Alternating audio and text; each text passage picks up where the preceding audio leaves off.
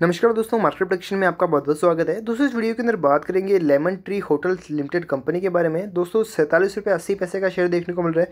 और दोस्तों, कौन से लेवल पे बाय करें? साथ ही यहाँ पे क्या हमारे लिए कंसोल करते हुए शेयर देखने को मिल रहा है? और कौन से लेवल पर बाय करके एवरेज भी रख सकते हैं हम शेयर को? तो दोस्तों, यहाँ पे चलते हैं स्टॉक डिटेल्स के ऊपर। चैनल को सब्सक्राइब नहीं चैनल को सब्सक्राइब कीजिए।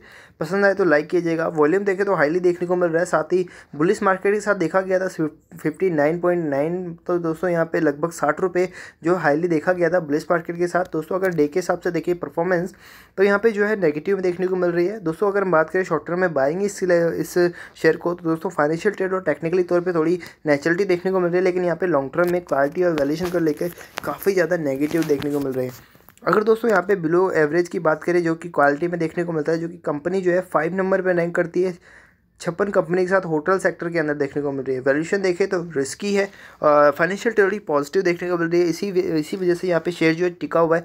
बिकॉज़ यहाँ पे जो कंपनी के जो रिटर्न्स है क्वार्टर के देखें, यहाँ पे नेट सेल्स के हिसाब से भी क्वार्टर के रिज़ल्ट देखें तो एक परसेंट की बढ़ोतरी देखने को मिलती है। नेट सेल्स देखें ईयरली फिफ्टी परसेंट की ग्रोथ देखने को मिलती है। तो क्वार्टर के रिज़ल्ट तो काफ़ी अच्छे देखने को मिल रहे हैं, लेकिन यहाँ पे बात करें क्वालिटी और वैल्यूशन को लेकर काफ़ी ज़्यादा रिस्की देखने को मिलता है तो शेयर में क्या है, थोड़ी नेगेटिविटी इसी वजह से है तो लेके हम चले।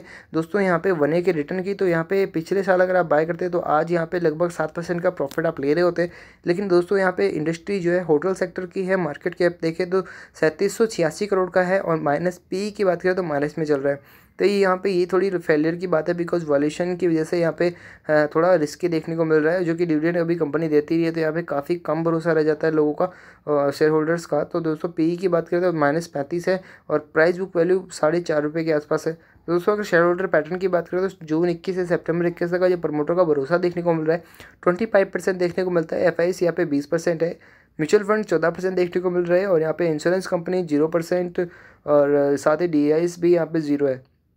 पब्लिक के अंदर देखें तो लगभग चालीस परसेंट की होल्डिंग यहाँ पे देखने को मिलती है।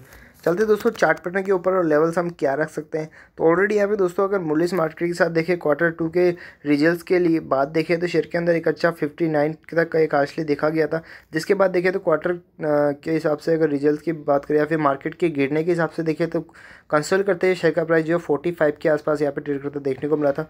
और लेवल्स अभी यहाँ पे काफ़ी ऊपर आ चुके थोड़े बहुत ऊपर आ चुके फोर्टी सेवन चल रहा है शेयर का प्राइस और अभी देखो दोस्तों, मैं यही कहूँगा कि लगभग आप इंतज़ार कीजिए। थोड़ा पेशेंस रखिए फोर्टी फाइव के आसपास वापस आपको देखने को मिल जाएगा, लेकिन यहाँ पे मार्केट गिरेगा तो ही बिकॉज़ काफ़ी ज़्यादा गिरते हुए मार्केट का असर इस पर हुआ है और बढ़ते हुए मार्केट का इस पर असर होने वाला है।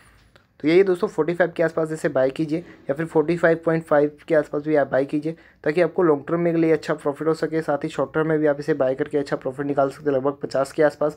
साथ ही ये लगभग जो टारगेट्स अगर पॉजिटिव रहते हैं क्वार्टर थ्री के रिज़ल्ट तो यहाँ पे पचपन के आसपास जो है ये शेयर का प्राइस जा सकता है। तो पेशेंस रखिए, जबकि आप पेशेंस रखेंगे, आपको मार्केट प्रॉफिट ही देगा। साथ ही लॉस आपको बहुत ही कम चांसेस है, लेकिन प्रॉफिट पेशेंस के साथ ज़्यादा अच्छा देखने को मिलता है। लाइक और शेयर ज़रूर वीडियो को, धन्यवाद।